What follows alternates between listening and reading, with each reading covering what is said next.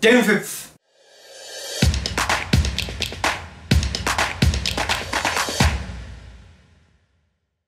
どうもちゃん、篠原です。今回は伝説の受験生になる方法ということで、えーこれ何かっていうと、あの、伝説になるような合格を果たす人っているんですよ。具体的に言うと、えー、篠原の去年の塾生ですね、えー偏差値40代から1年間勉強して、早稲田に現役合格した塾生がいました。まあこれ伝説ですよね。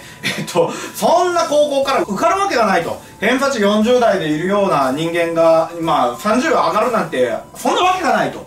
いうところからの合格をしてみたりだとか、まあこういう逆転合格ですよね。あと、まあ、あの、その高校もそうですけど、あの、言ったら、うちの高校からは大体このぐらいのレベルなんですと。まあ例えば、大体まあ、鹿児島大学に行きますだとか、まあ大体まあ、えー、新州大学ぐらいですみたいな、そのぐらいのところから、いきなり東大にパーンと受かってみるとか、いきなり医学部みたいなことがあったりとかするような圧倒的な合格、えーこれまでの合格実績からも頭一つ抜けたような合格があったりはあお前マジかよみたいな逆転合格をするっていうのが、まあ、伝説の受験生です、えー篠原も昔ですね浪人する時にまあ先生とか、まあ、親とかからね、まあ、お前は兄弟無理と言われましたでも受かりました。まあ、こういう合格の仕方ですね。に、えーなる方法、伝説の受験生になる方法を紹介します。えーまず一つが、えー塾とか予備校、あるいは参考書で自分でブーストさせて勉強していかないといけないということですね。これ何かっていうと、例えば今、開成高校に通ってる、えー奈良高校に通ってるっていう場合だったら、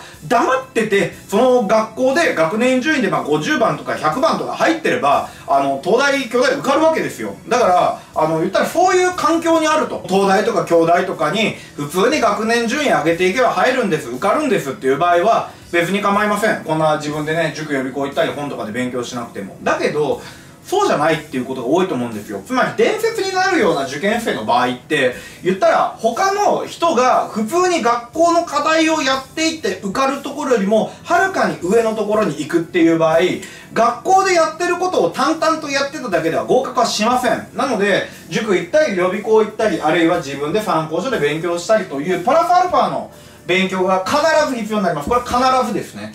だから篠原もまあ、あの、大手予備校行きました。浪人の時大手予備校行きましたけど、予備校の課題だけじゃなかったですもん、やったの。予備校の課題はもちろんやったけど、金払ってるから。あの、だけど、まあ、あの、言ったら、過去問、大学の過去問、京大の過去問もめっちゃ死ぬほどやったし、あの、実際参考書とかもね、もうめっちゃ死ぬほどやりました。で、あそういう勉強をしていかないといけない。じゃないと逆転合格は無理だし、圧倒的な合格は無理です。えーと、さっき言った早稲田受かった逆転合格したやつも、早稲田と慶応の社会の過去問合計100年分やったって言ってるんですよ。100年分ですよ。まあ、実際には100回分ですけど。頭おかしいでしょそんぐらいの勉強をやると、まあ、逆転合格できるし、圧倒的な合格っていうのは可能なんだけど、逆にそれやらないといけないっていうことなんですよね。で、二つ目、えー周り無視いうことで、これがね、まあ、結構大変なんですよ。で、えーさっき言った通り、灘高校や海星高校に通ってます。もうこのままだったら、えー東大京大受かるんですっていう環境だったら、周りもね、言ったら東大京大受かろう、頑張ろう、行こうっていう感じなんですよ。だから、もう黙ってたら受かるんですよね。みんなで頑張ろう。みんなで東大京大行こう。みんなで合格しようっていう感じで勉強していくんで、まあめでたくみんな合格と。ところが、そうじゃない場合、具体的に言うと、いやいやと、もううちの高校だったらもうこの大学が精一杯だよと。えー和歌山大学がせいぜいだよ。お前東大行きたいって言ってるけど無理無理みたいな、そういう感じだったりするんですよね。こういう圧倒的な合格が果たせない環境って。あもうお前無理無理。絶対もうその大学無理だからこんぐらいにしとけと。下げろと。やめとけっていうようなことを言われるような環境。で、友達も、お前何そんなに受験勉強熱くなってんの？そんなに頑張ってもどうせダメだからやめめとけよみたいな。もうここでいいじゃんかよみたいな感じの周りなんです。言ったら自分が熱く勉強頑張ろうと思ってても、下げてくるんです。その温度を。これを無視するっていうのがかなり大変。で、何が大変かっていうと、あのね、味方がいないんですよ。周りの全員が敵なんです。言うならば、あの、学校の友達も、友達と言えるかどうか謎ですけど、まあその、やめとけと、無理だからやめろ、下げろ、みたいなこと言ってくる。先生も言ってくる。下げろ、無理だ、言ってくる。で、親も言ってくるんです。お前、なんか先生も言ってるし、ダメなんじゃないの？無理なんじゃないの？って言ってくるんですよ。で、全員的、完全なる四面楚歌なんですよ。完全なる四面楚歌で、そんなね、すっごいかわいそうな環境の中で一人孤独に頑張っていかないといけないっていうのが、えーこの二つ目のところでこの環境周りを完全に無視するっていうのが必要になってきます。でこれ1個この周りをうざい存在から無関心に変える方法があって単純に A 判定取る。あるいは B 判を取るっていうのがあの唯一の解決策です。だから周りがうざいもうお前やめろ。絶対無理だ。諦めろ。とか言ってくるのを黙らせる方法唯一あるのが A 班 B 班取るっていう。でこれでやれば黙りますから。で周りがうざい存在から無関心空気になります。で早めにその空気の存在にさせないと自分のモチベ下がってきますから A 班 B 班早めに取りましょうと。合格点取っちゃいましょうっていうのが一番早い、えー、まあ、解決策になりますと。あとは気合と根性です。えー、というのもね、まあ、この動画見てるってことは、みんな伝説の受験生になりたい、圧倒的な逆転合格、圧倒的な合格を果たしたい、これまでの合格実績ないような、伝説の合格をしたいって気持ちがあると思うんですよ。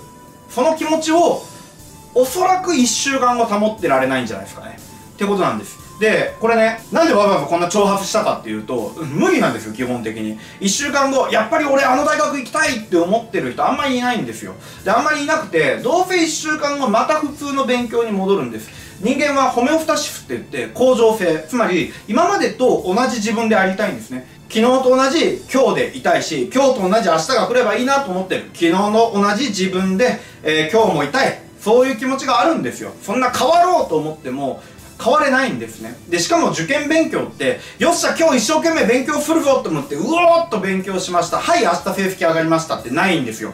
基本的には3ヶ月。だから篠原のメルマガとかでも3ヶ月で偏差値10上がるってなんでかっていうとやっぱり成績上がるのに3ヶ月とかっていうスパンが必要なんですよね。っていうところで、まあ、この気合と根性で勉強していくっていう流れの中で熱い気持ちを持ったらその気持ちを冷まさないっていうことがすごく大事になってきます。だから1日2日頑張ってどうにかなるっていう世界ではありません、えーと、一生懸命3ヶ月最低3ヶ月頑張ってしかも周りから無理だ諦めろとかって言われながら、えー、自分で、まあ、塾行ったり予備校行ったり参考書で勉強したりとかしてプラスアルファの勉強して、まあ、その過程の中で睡眠時間削ったりだとか辛い思いもいろいろするかもしれないんですけどそれでも頑張っていくとまあ受かるというところですね。まあそういうことをやるからある意味伝説になるっていうところもあるのかなというところです。だから伝説の受験生になりたいのであればやっぱりねちょっと人と違うことやらないといけないんですよ。言ったら99%の人と同じことやってて伝説になるわけがない。1%の人がやってうまくいってるからこそ伝説になるっていうところなんでまあとりあえずね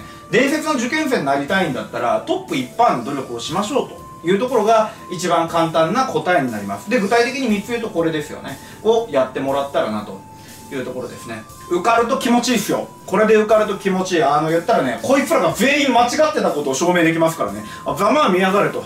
あお前らそんなこと言ってるからそのレベルなんだよ。って思いますから。これ受かると相当気持ちいい。よ相当気持ちいいけどやっぱねそれまでが大変だね。それまでが大変だしやっぱりね最大の敵が自分自身なんですね。自分自身も周りからこうやって言われたりとかさするといや無理なんじゃねえと。俺やっぱ無理なんじゃないかなとかって思っちゃうんですよどうしても人間って。でその自分にやっぱ打ち勝つ。これがねまあ大変だけど一回打ち勝てたらあのその後も打ち勝ち方わかるんで言ったらあの何でもできるようになりますよ。あの篠原もやっぱり兄弟受かったから会社辞めて起業できたんで。兄弟俺受かったから起業の方が簡単だろうと思ったんです。兄弟よりも起業の方が簡単だと。だって兄弟受かるのって偏差値70ぐらいいるからトップ2%ぐらいじゃないかと。でも起業って大体10%ぐらい成功するんですよ。5倍簡単じゃねえと思ったんです。だから兄弟受かったから起業もいけると思って会社辞めれたんですよ。だからそんな感じで結構1個なんか成功体験があるとやっぱりいいので俺はねぜひこの動画見てるみんなには多少フライ本当にフライよ。だけど1週間2週間できたら3ヶ月頑張って伝説になってほしいなと思います。ぜひ一緒に頑張っていきましょう。今回のこれで以上です。ご視聴お疲れ様でした。